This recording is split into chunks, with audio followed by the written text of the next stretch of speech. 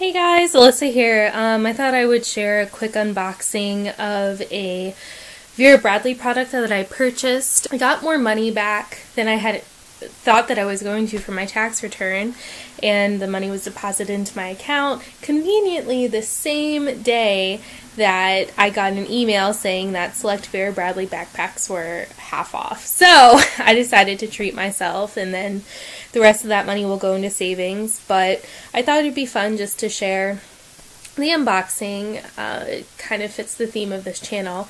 I absolutely adore Vera Bradley items. Like if you can see over here, this blanket is Vera Bradley. Just something that my mom started I think the first thing she ever bought me was like a Vera Bradley clutch when I was working on my bachelor's degree, and it kind of became a theme that every year for Christmas I would get something Vera Bradley, and it rolled over to my boyfriend buying stuff for me and my brother buying stuff for me because you can't go wrong with me and Vera Bradley. I just adore their products. I love how colorful everything is. They just have great customer service and great products. They sent me a coupon that's $20 off my next purchase of $80 or more. I shouldn't show that code, which is awesome.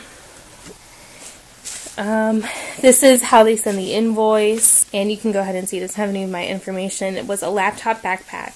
It was originally $109 and it was 50% off. There was $10 worth of shipping and $3 in tax. So the total was $68.28, which is still less than it would have been if I had purchased it full price. And this is what it looks like. Oh, it's so pretty. This is the Print English Rose. My favorite color is brown, so this is basically perfect for me. Um, hmm, this is interesting. There's like a thing. It's like a a flap.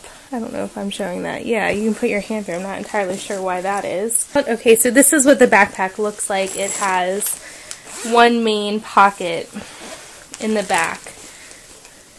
And it has a closure for a laptop, which I don't take my laptop with me anywhere because it's old. And then it has two pockets here so I could put um, like pens and that kind of stuff.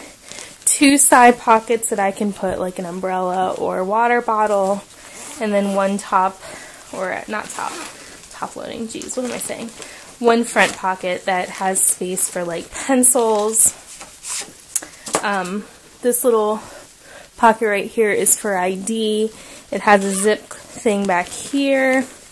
And yeah, that's just a quick little tour. If you guys are interested, I can definitely do a what's in my backpack video once I've been using it and yeah, just go from there. So, short little video. Hope you guys enjoyed it.